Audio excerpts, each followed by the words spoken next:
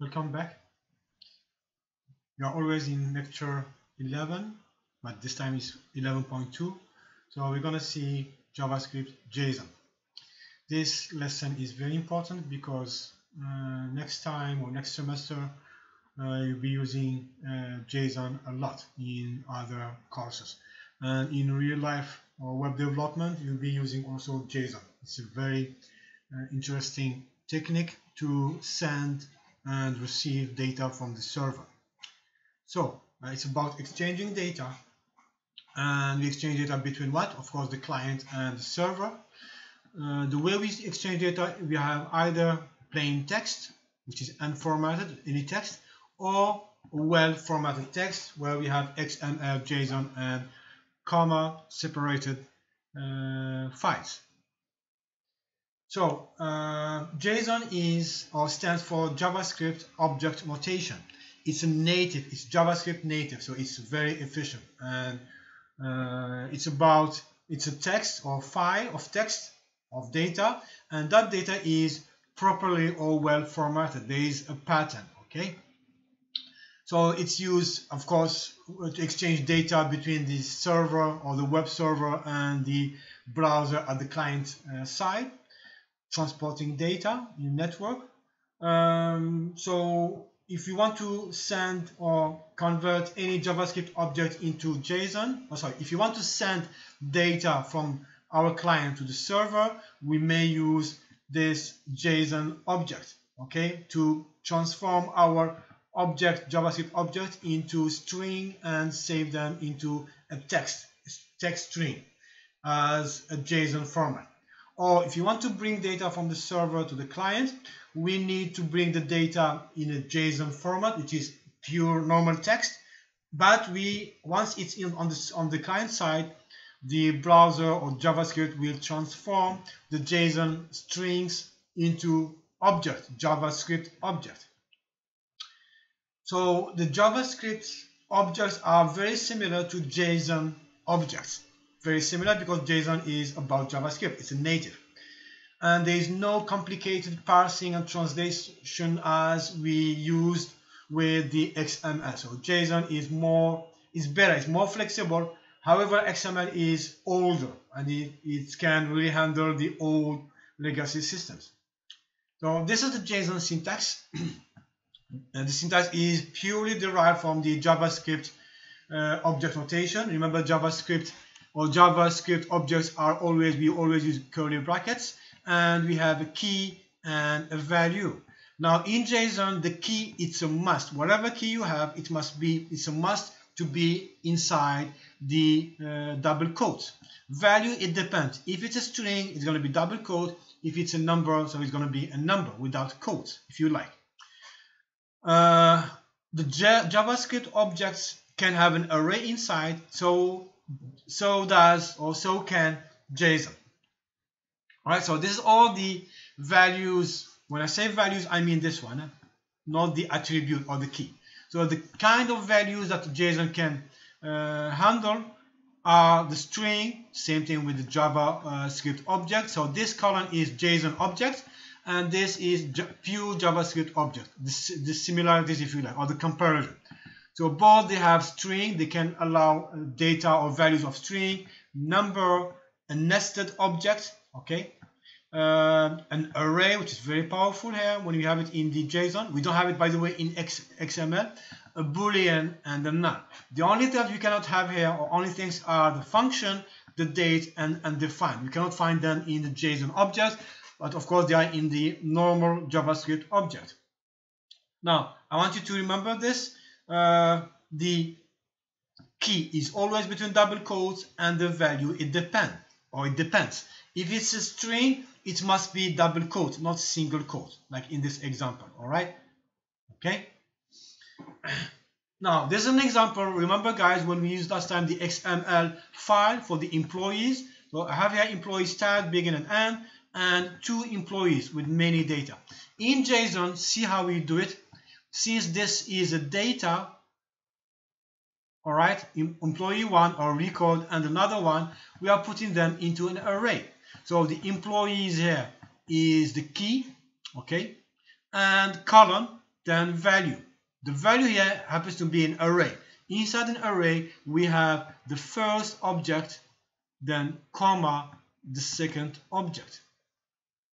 Up to here. Inside each object, we have a key and a value. A key and a value, okay, and separated by the comma. This is an object with an array, and the array is an array of objects here. So the comparison between the JSON and uh, XML, they do the same thing. Okay, it's an alternative if you like. Okay, one is an uh, an alternative of the, of the other one, but nowadays we usually use JSON, very powerful. It's very portable. Uh, XML is also very portable, but it's very flexible, easy to manipulate. All right. So both they describe, uh, they are self-describing with tags and or with names, keys, and values they are hier hier hierarchical, sorry. Uh, so values within values, an object inside an object, a tag is inside another tag, and both they can be interpreted or parsed, all right, processed using uh, some API uh, functions, and they can be used by many programming languages, all right, PHP, Java, JavaScript. Both can be fetched with an XML HTTP request. So this is the most of the time you're gonna bring your JSON or, or XML from the server using this Ajax, okay, this Ajax object. The main differences here between the two is JSON doesn't require tag, it's more simple, more flexible, shorter, and it's more efficient because it's JavaScript native and it doesn't need a lot of uh, API functions for parsing. And it can use arrays, which is very uh, fast and very efficient. So XML is very hard to parse because you have, have many uh, API functions and you have to be really precise. JSON on the other hand, the parsing is really, really easy. Let's talk about the parsing here. So when I have a string and I want to uh, get it from the server, is I have a text, a JSON text, and get it from the server and manipulate it on the client, I need to fetch that string and parse it into a set of objects. So I use this function or I use this object json.parse. I'm going to use an example here. I'm going to copy this or let's go here. Uh, I have a JavaScript and I have this example. Alright, so I'm going to go to console here and work with this. So I have my string. So uh, just imagine that this is in my server and I bring it in my string here. Now, by the way, see the object, guys? It's a key, colon, value, comma, another key, colon, and the value, comma, and another key, value. The keys, they must be between double quote. The values, if they are string, it's double quote, okay? The value is double quote if it's string and if it's a number it's a number. All right? Uh, but you cannot use single quote.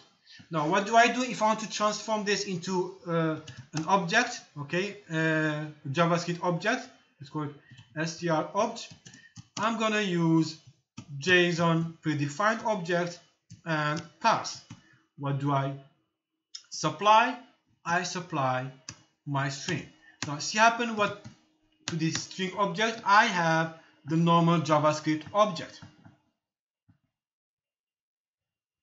Alright, so I have the grade, the mark, and the user ID.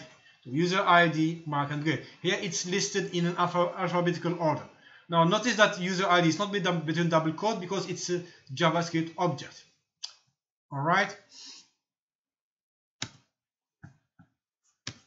okay I want you guys to remember this if I want to get the values of this object I use this very uh, simple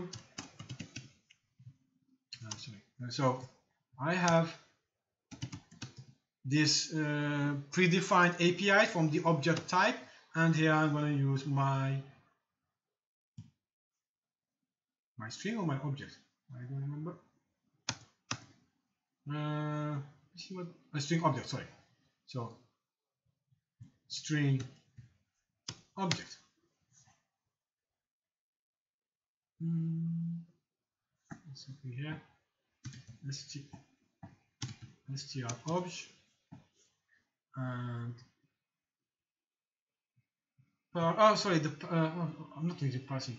Um, so object dot values and str obj and I got my array of all the values.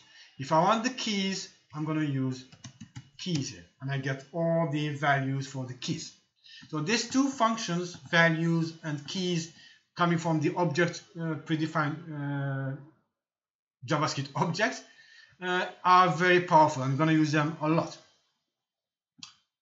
All right.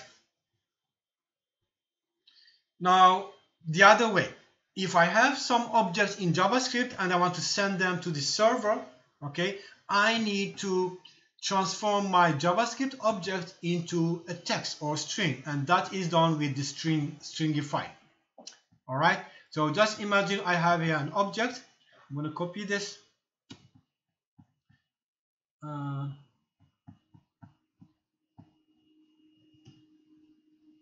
Alright, is it copyable?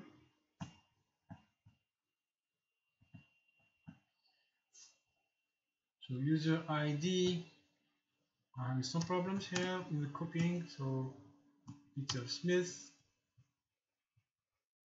Mark, grade. It's an array, guy. By the way, this is an array. So is the first object. And this, oh, I'm to copy properly now. It's a PDF, so it's very, it's not really. I have them here. Uh, I'm to copy them here. No, it doesn't really copy properly. Hmm, how do I do that? Okay, Control V. So user ID Smith. User ID Jones. User ID. Now, so I have to close here the object. So this is the second object, and this is the last object, and that is the first object. Okay and it's an array. All right so I have an array. Good. I'm going to use this array of objects and transform it into into uh, JSON format.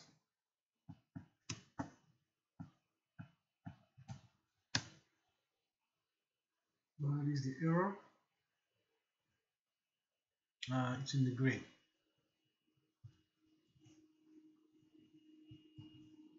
Here it doesn't matter if you use single quote, it's okay because it's a normal JavaScript object. But if it's JSON object, a text, it has to be double quote. Alright, now let's say this is my my student array object. Okay, so you see, you see it's an array and I want to transform it into JSON, okay, to be stored as a text, a JSON text. So what do I do? I use the uh, JSON stringify. So my output, my JSON output, str, and here we use the JSON dot stringify. So we have either parse or stringify, and we pass our JavaScript object. Now notice guys how it's transforming. Do you see this B? Uh, okay, this is how it's being transformed as a very long uh, string. Can you see a double quote guys at the beginning and double quote at the end here? All right. Um, JSON on all the browsers doesn't is not supported, especially uh, Internet uh, 8, uh, Chrome is good, uh, but 3.5, so prior to prior, prior to 8 is not supported. Prior to 3.54 Firefox is not supported so these are the versions here guys. And we have a way to uh, run using or to uh, uh, if you like find an alternative for parse json parse and json stringify. So the alternative is to use the built-in eval okay evaluate evaluation it's going to evaluate eval function but this is very very uh, risky okay? You have to be very careful not to run some uh, uh, script or malicious script. Now json is really used a lot with the http uh, request object okay? Xml http request so it's extensively used in ajax. You're gonna see an example when we do the demo and so I'm going to show you this one when we do the class demo. And the last one here is about why do we prefer JSON. Okay so guys go through this. It's really easy. I mentioned many of them while I was explaining the slides. Okay so XML is more difficult to parse you have very uh, you have to, to go with the get elements by tag names go to first array element and you're gonna navigate through the tree. All right it's a bit difficult. We see when we compare the code whereas JSON is very flexible, bulky here, a lot of tags, uh, parsing is very difficult, and it's not JS na native, but JSON is purely JS, JavaScript. Faster, okay, uh, and JSON also can do the fetch uh, to fetch a string, or we can pass uh, the string. JSON pass the string, the JSON string. All right, so uh, the next lecture we're gonna be about the uh, hands-on. I'm gonna do some demonstrations, two or three examples. Thank you.